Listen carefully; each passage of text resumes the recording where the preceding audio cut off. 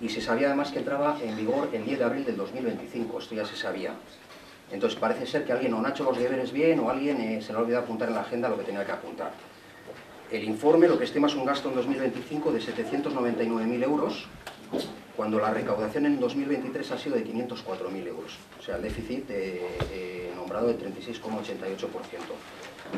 Conocéis perfectamente la directiva Marco Residuos, que además es la que en el informe, de, informe es el que, se nombra, es el, el 2008-98 CE, y, tampoco vemos que se haga, por ejemplo, un ejercicio de bonificar buenas prácticas, ¿no? pues de reciclaje, etcétera, que seguramente nos podéis contestar de que, es complicado, y bueno, tiene su complicación, pero para eso estáis los gestores para, hacer este tipo de cosas, ¿no? y para bonificar, por ejemplo, en este caso, el tema de, las buenas prácticas de reciclaje.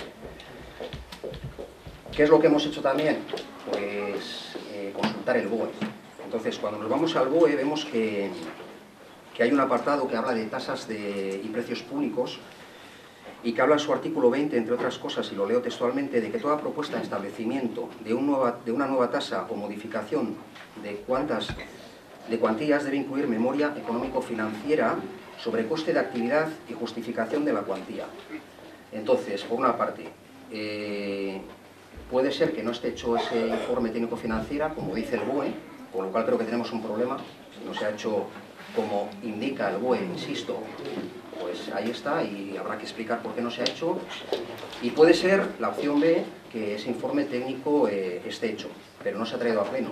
Entonces consideramos que al final para eh, hacer una valoración sobre este punto si no constamos con ese informe técnico financiero, pues que nos falta información. Por lo tanto, vamos a, retirar vamos a pedir la retirada de este punto porque creemos que falta información al respecto. Comentar que la subida mensual que supone, eh, parece que en porcentaje, eh, es una subida muy, muy significativa, pero eh, haciendo los cálculos, la tarifa se sube un 3,86 euros al mes.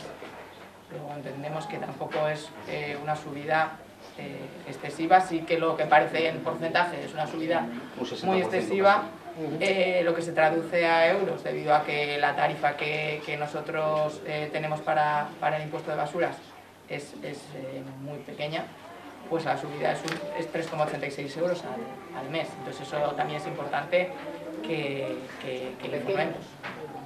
Y, y bueno, poco más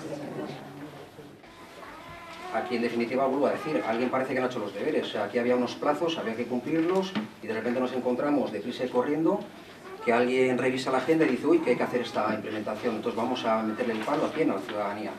Entonces, bueno, eso no, no, no sé cómo se ha organizado, no sé cómo se ha llevado a cabo y no sé cómo se ha estructurado, ¿no? Para que de repente no venga este palo.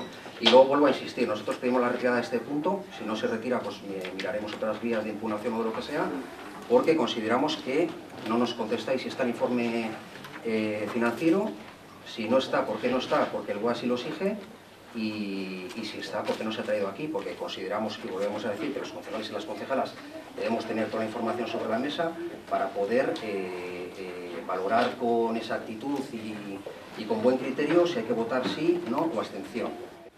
Te hemos comentado que el estudio económico está ahí. Podrá ser mejor o peor, pero en la documentación está.